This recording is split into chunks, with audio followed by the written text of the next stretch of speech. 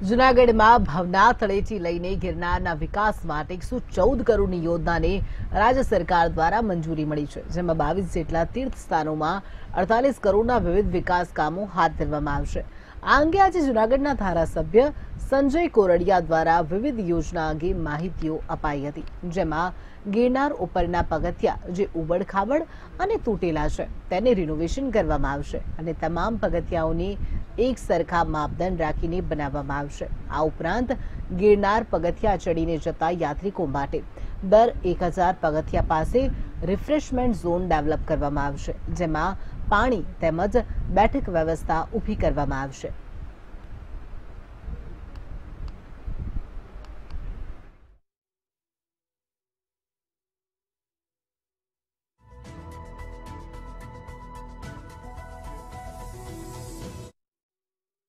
Generally ત્રણ metre પોળા બધા step થશે.